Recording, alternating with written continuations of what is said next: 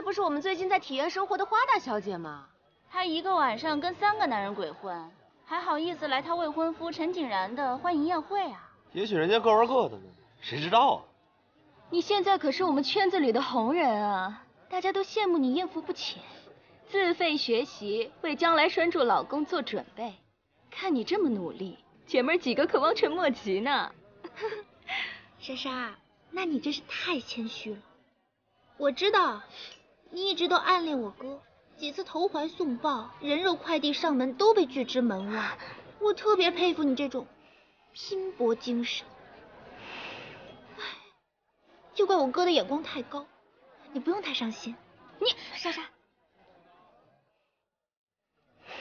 你们几个还真是好姐妹。没关系，我今天心情好，不跟你们计较。好呀，明月，我们朋友一场。我也很羡慕你，还有一个不离不弃的未婚夫。不过你这个未婚夫陈景然也太低调了，直到今天为止都没有人知道他长什么样子。我们大家可都是很好奇呢，他今天怎么没有陪你一起来啊？他去停车了，我先上来。哼，明月，几日不见，你的撒谎技术下降了。这儿的酒店根本不需要自己停车的，不知道吗？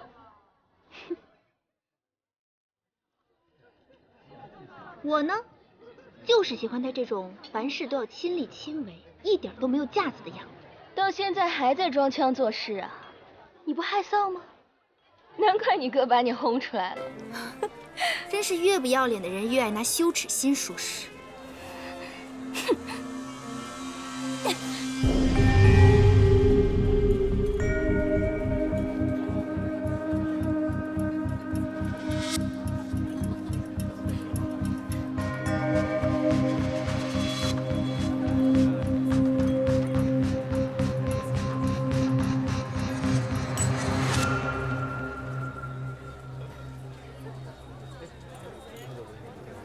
明月，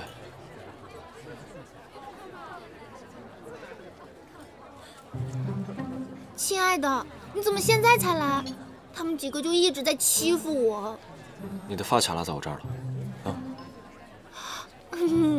这个什么时候戴不行呀？你看他着急的。你是陈景然？对啊，他就是我的未婚夫陈景然。嗯，很帅吧？你说他是陈景然，有什么证据吗？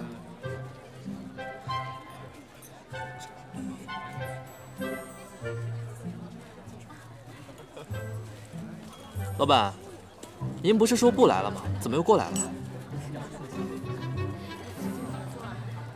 老板，我来替你向大家解释一下。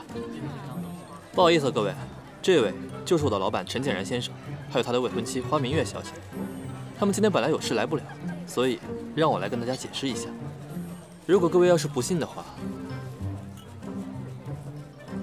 这个是陈景然先生的邀请函，是吧，老板？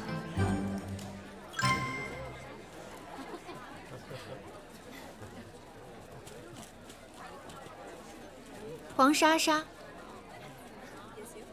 别以为我不知道，之前那些事都是你在背后搞鬼。我花明月这个人呢，向来都是知恩图报。不过，谁要是招惹我，我也会有仇必报。